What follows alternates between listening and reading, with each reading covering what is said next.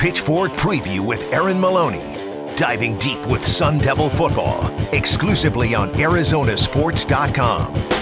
Arizona State wraps up their regular season this week as they travel to Tucson to take on the Arizona Wildcats on Friday night for the 90th Territorial Cup. Kickoff scheduled for 7:30 with pregame starting at 5:30. You can catch all of the action on KTAR News 92.3 FM. ASU is coming off a 44-18 loss to number 6 Washington as the Devils were handed their fifth straight defeat, while U of A suffered a 42-17 loss to Oregon State to remain winless in conference play. There's no doubt both teams have had disappointing seasons, but when the 5 and 6 Sun Devils square off against the 2 and 9 Wildcats, all the records and stats can go down the drain.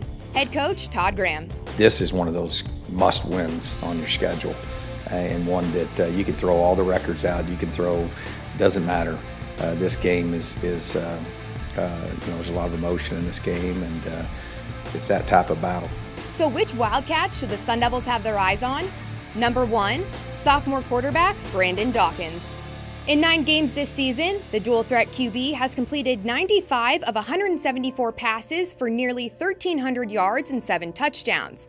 As Dawkins currently ranks fifth in the Pac 12 in rushing yards with 761 and eighth in passing with 1,268. Number two, senior Samajie Grant. When the Wildcats suffered many major injuries, the senior wide receiver converted positions to take over the running back duties. Grant has played in all 11 games this season as he has racked up 285 rushing yards and 247 receiving yards with a combined six touchdowns. Number three, sophomore wide receiver Shun Brown. The receiver leads the Wildcats with 521 receiving yards, averaging nearly 18 yards per catch.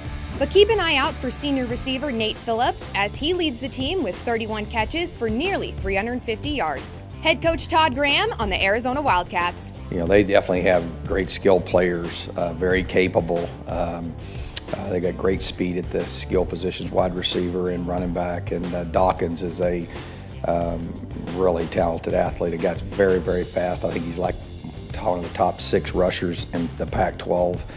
Um, he's uh, he's really a dynamic runner and, and has really good arm strength. So he is a very, very athletic quarterback uh, that can really hurt you. He can take the ball to the house. I mean, he's he's he's got tailback skills at the quarterback position. Besides bragging rights, what's on the line for the Devils and Wildcats on Friday night? U of A needs a victory to avoid their first winless season in Pac 12 play since 1957, while ASU needs a win to become bowl eligible.